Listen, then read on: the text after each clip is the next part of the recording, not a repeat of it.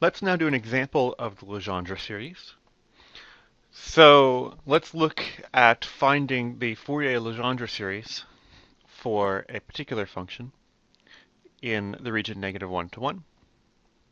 And so, in particular, let's look for the uh, Legendre series expansion for the function um, x to the one-third. So f of x is equal to x to the one-third. So what we do first is we write f of x as the sum over Legendre polynomials from n equal to 0 to infinity,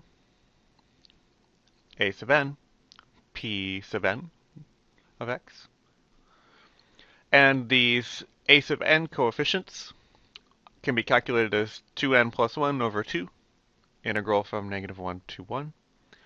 And then we take the product of our function x to the one-third and then the nth Legendre polynomial. And now we just need to calculate. That's really all that we need to do at this point. We just need to calculate these coefficients. Um, and it's not particularly fun. It's a little nasty, right? But you can do it term by term. So let's look at this term by term. Let's look at the L equal to 0, or the n equal to 0 term. So the zeroth Legendre polynomial, if you look it up, happens to be 1. So the zeroth coefficient is then just 1 half the integral from negative 1 to 1 of x to the one-third. Uh, interestingly enough, that's just 0, right? Okay, how about the Legendre polynomial coefficient for L equal to 1? So the first Legendre polynomial is x.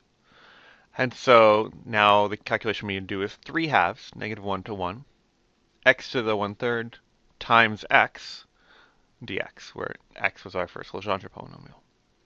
You do this calculation, um, and you get 3 halves times 3 sevenths x to the 7th third from negative 1 to 1. Okay, that's about 1.3 if you calculate that out.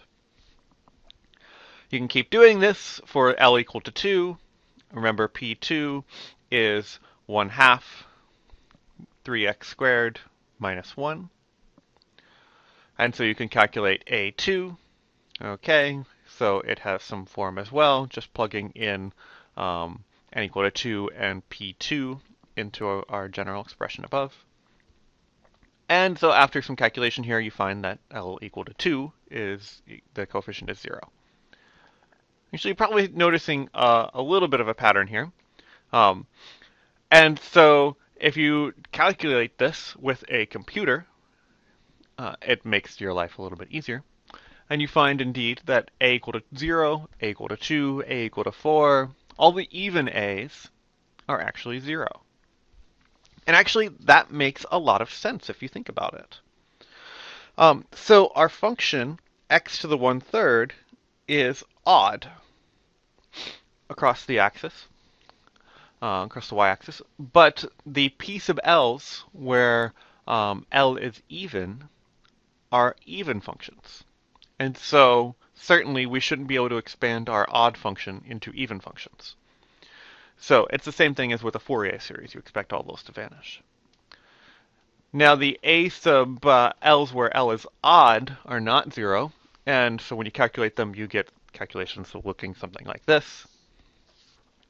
Um, again, you can calculate that with a computer. We'll show in a second how you might do that.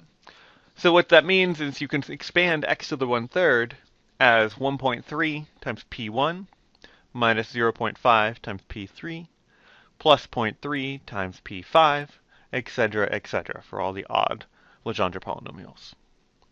Uh, and so this expansion gives a decent approximation, depending on how far out on the series you want to go, um, to x to the one-third, our original function, in the region uh, of negative 1 to 1, just in terms of these Legendre polynomials.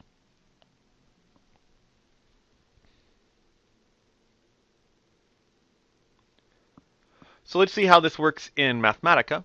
So we define some function which calculates the coefficients. And indeed, the first coefficient is about 1.3. Uh, the third coefficient is like negative 6 over 13. Okay. Uh, we write our function as the expansion the coefficients times the Legendre polynomials. The uh, if we go out to five Legendre polynomials, you get something looks like this. You can also go out to 20 Legendre polynomials. And then if you plot that, this is what you get. So in blue is our original function. The orange is going out to 5 Legendre polynomials, and green is going out to 20. You can see as you add more and more Legendre polynomials, you get closer and closer to the original function that you wanted. So that's the Legendre Fourier series.